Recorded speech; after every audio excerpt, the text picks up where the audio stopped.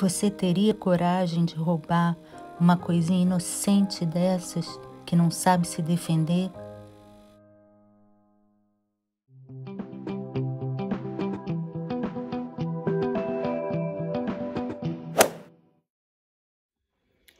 Gente, um fenômeno muito sério está acontecendo aqui na Inglaterra, em todo o Reino Unido, especialmente durante a pandemia.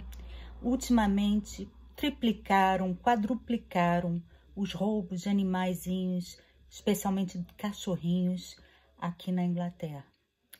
Principalmente os cãezinhos, os, os filhotes de pedigree, estão sendo roubados porque o valor deles aumentou muito, a demanda por animaizinhos aumentou muito durante a pandemia. Então, os ladrões estão levando os nossos cachorrinhos.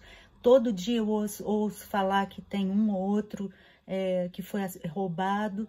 Aqui na minha cidadezinha não passa um dia sem ter. Estamos procurando nosso cachorro, ele foi levado. É muito triste, especialmente para mim que amo cachorros.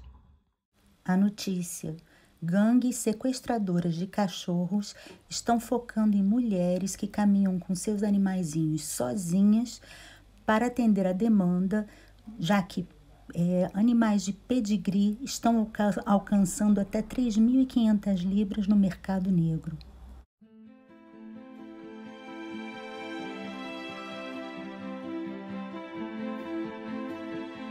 A coisa é mesmo séria. Os ladrões estão se fantasiando com roupa da Associação Protetora dos Animais daqui e falam que ah, esse cachorro parece um outro cachorro que foi roubado, a gente agora vai precisar levar ele com a gente para investigar. Ou então é, eles vêm em carros, furgões, se aproximam de mulheres principalmente que estão caminhando com os cachorros sozinhos e vem com o furgão e quando ela dá uma bobeira, porque às vezes estão caminhando sem coleira, ela dá uma bobeira, eles pegam o cachorro, atraem o cachorro com qualquer coisa, botam dentro do carro e se mandam.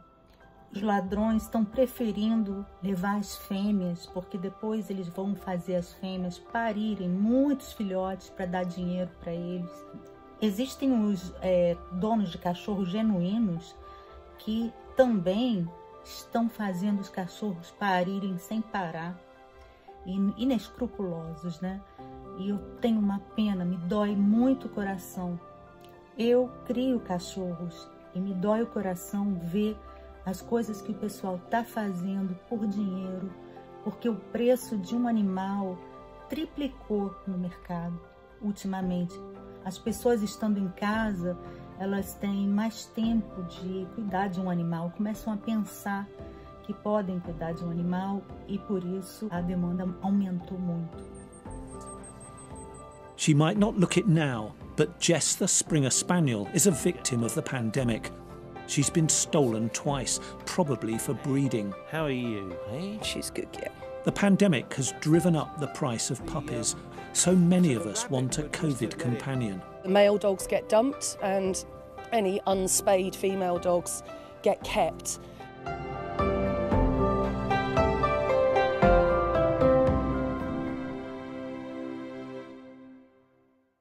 Talk about this dog theft or dog napping as it's often known. Um, it's big business.